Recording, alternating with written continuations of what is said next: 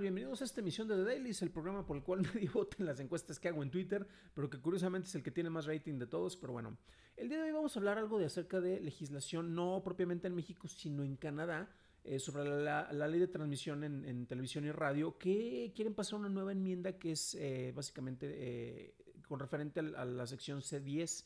¿Y de qué se trata esta, esta ley, esta enmienda? Bueno, básicamente busca que eh, agregar eh, los servicios de streaming en distintas plataformas para que sean contemplados dentro de lo que se regula aquí. Y tenemos, bueno, aquí los distintos briefs acerca de las alianzas que tienen, por ejemplo, en cinema, televisión y los artistas de radio. Eh, y bueno, los distintos aspectos. Eso no se preocupen, yo dejo siempre estas referencias para que las puedan consultar. Y lo que ocurre es que básicamente Google empezó a hacer la chillona y dice que está muy preocupado por el impacto que pueda tener en los creadores.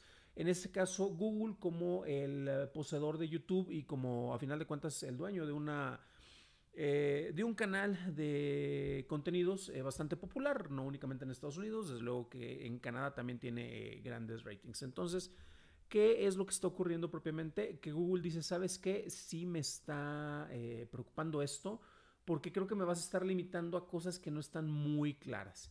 ¿Y a qué se está refiriendo? Bueno, a final de cuentas esto tiene muchísimo que ver con el planteamiento de algo que también se trató de hacer aquí en México y es impulsar el contenido de los creadores nacionales. En este caso son los creadores canadienses.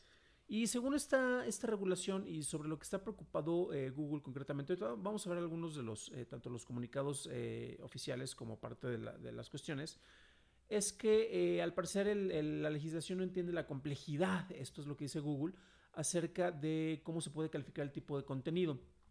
Básicamente lo que se busca a nivel legal es, yo, canadiense, quiero ver un tipo de contenido y tú, YouTube, me debes de ofrecer contenido canadiense.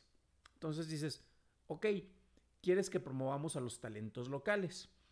Eso si lo trasladáramos a México es, eh, yo quiero ver un video acerca de crítica de cine de la película de Spiral. Y en vez de ver la cantidad de videos que están publicados en inglés en Estados Unidos, me presenté este, a los creadores de contenido mexicanos con su reseña y sus comentarios acerca de la película. Yo honestamente soy, bueno, eh, los que me conocen saben que prefiero mucho más el contenido, soy anglofílico, eh, prefiero más el contenido en inglés. Y sí, desde luego sigo creadores mexicanos, pero a mí me molestaría y me irritaría bastante que YouTube me estuviera forzando a ver este tipo de contenido por un tipo de legislación, porque debo de apoyar la industria local mexicana. Esto se ha buscado implementar y en Canadá está regulado precisamente para que eh, si tú eres una televisora, creo que tengas, em, creo que se basa en una ley 7030 en la cual debes de tener este, un mínimo, el ideal es que tengas un 70% de contenido local, o sea, canadiense, que eh, a final de cuentas puedes incluir contenido de otras plataformas y de repente pues puedes tener, no sé, el, horario estelar con contenido estadounidense, que es el, más lucidor, ¿no? Que Canadá tiene muy buenas producciones, yo también he estado viendo mucho de ahí, mucho contenido de Nueva Zelanda, mucho contenido australiano, que les recomendaré precisamente en, Netflix and Chill. Pero eh, entonces aquí lo que Google también alega es que eh, tenemos la cuestión de que mm, eh, tienes que tener este mismo tipo de tasas de, porcentajes priorizadas en YouTube y en otro tipo de plataformas. Eventualmente lo van a querer buscar tanto en Netflix como en Prime. Y recordemos que, como se los mencionaba, aquí el eh, desgraciado Monreal estaba tratando de meter esa ley de cinematografía. Y ya sabemos, nuestros mártires del cine nacional rasgándose las vestiduras porque nadie ve sus películas, cuando en realidad los que sí nos esforzamos por ir a verlas en festivales, que son las que no llegan al público en general, este, pues sabemos que no es un público de alto consumo. Está, tenemos una separación entre los creadores, en este caso artistas, con lo que el público busca, consumir masivamente y también tenemos un escepticismo y un... Somos bien, eh, como decirlo, bien discriminadores en ese aspecto. Este, hay quienes les dicen, ay, contenido mexicano y, uy, mejor me voy porque es una porquería. Eh, y creen que todo es con Marty Gareda y Omar Chaparro. Chequen el último palomoso que tuvimos con Adriana Fernández, donde vemos qué tipo de contenido ven los mexicanos y donde ahondamos acerca de eso, porque son estigmas que honestamente no, nada tienen que ver o poco tienen que ver con la realidad. Pero bueno, aquí en México ya se, estaba insistiendo en que al menos el 15% de las series y películas mexicanas eh, tengan presencia en, en servicios como Netflix, ¿no? Y pues bueno, este, honestamente son de esas propuestas eh, chairas, este, desde luego, propuestas este, de los mártires que quieren meter a huevo su contenido aunque sea de mala calidad. Y eso es algo que curiosamente tal vez podría eh, tener ese, ese patrón en lo que se está buscando en Canadá. Y bueno, ya les mencionaba acerca de eh, Google, precisamente que publicó eh, desde la página de, la respuesta oficial del blog de, Google en Canadá acerca de esto. Y se basa básicamente en el hecho de que lo que quieren es ofrecerte el contenido que tú estás buscando. Entonces, si yo quiero buscar, y uno de los ejemplos que dan es cómo cambiar una llanta, no te voy a presentar un video canadiense de cómo cambiar una llanta, te voy a presentar el mejor video o el video más relevante de cómo cambiar una llanta. Porque además sería eh, un aspecto legislativo en el cual las autoridades canadienses definieran qué es canadiense y qué no es canadiense. Y dan varias estadísticas que son muy interesantes porque muestra que la mayoría del contenido canadiense no es visto en Canadá, sino que es visto en el extranjero. Principalmente en Estados Unidos, estoy especulando, tal vez en Reino Unido, pero bueno, ahí el mercado no es tan grande. Entonces, si tratas de focalizar el contenido para que sea consumido de manera nacional, estarías también cerrando, en vez de tener este panorama mágico del mundo mundial, estarías cerrándote únicamente a tener una presentación para el contenido local. Entonces, es otra de las cosas que Google está eh, planteando y por lo que se siente consternado y preocupado acerca de esto, ¿no? Y eh, cierran con dos puntos muy valiosos, ¿no? Eh, a final de cuentas sabe que los canadienses están, están echándose, ahora sí que voy a traducir muy libremente, metiéndose con Sansón a las patadas con su contenido, buscando que sea exitoso en todos lados, porque a final de cuentas pues compiten con el mercado estadounidense. Para muchos no hay diferencia entre estos dos, aunque efectivamente sí lo tienen.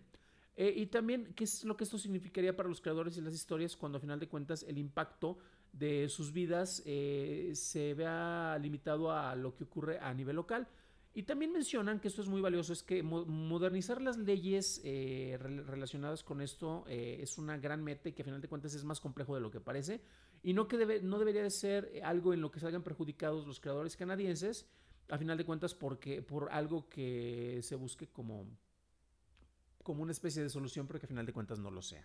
Y es interesante ver otro tipo de artículos, por ejemplo, por parte de Heritage, esta página, eh, perdón, de, Mobile Syrup y habla acerca de que esta controversia la quieren, perdón, esta ley controversial la quieren pasar de volada.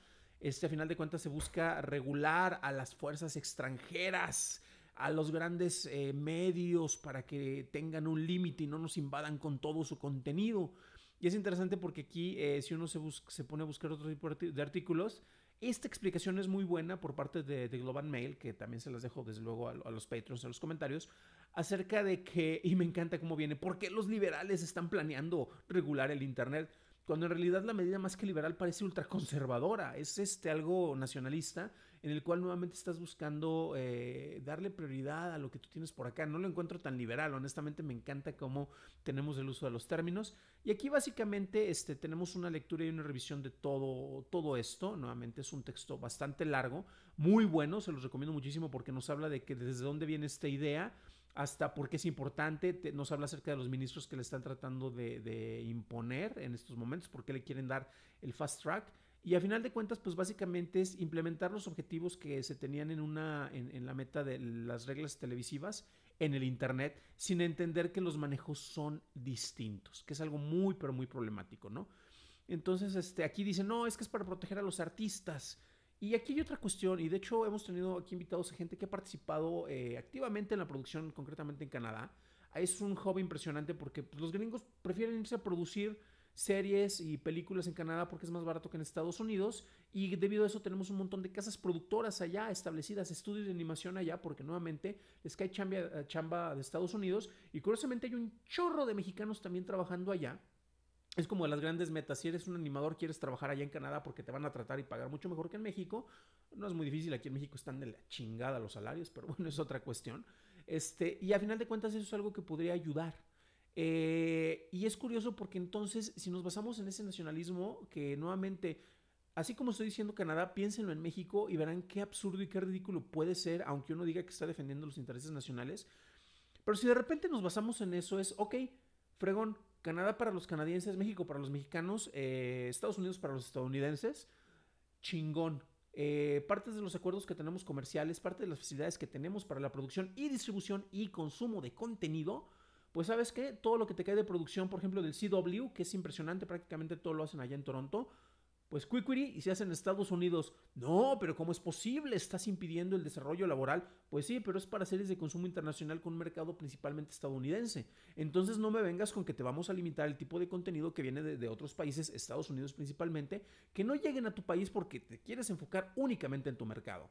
En serio, eso es completamente absurdo y créanme que solo tienen que decirlo en voz alta para que se den cuenta de lo perjudicial que puede ser eso. Pero bueno, lo menciono porque a final de cuentas esto también se ve reflejado en México. Y hemos tenido algunas propuestas, como mencionábamos con la ley, la propuesta de Monreal, que afortunadamente ha tenido este, algunos frenos por allá, pero es, se me hizo muy interesante verlo precisamente eh, reflejado en otros países concretamente en, en, un que vendría siendo el ideal, que hasta tienen un primer ministro este, guapo, pero que se pintaba la cara de negro y hay que cancelarlo. Ah, no, como es guapo no lo, no, no lo tenemos que cancelar.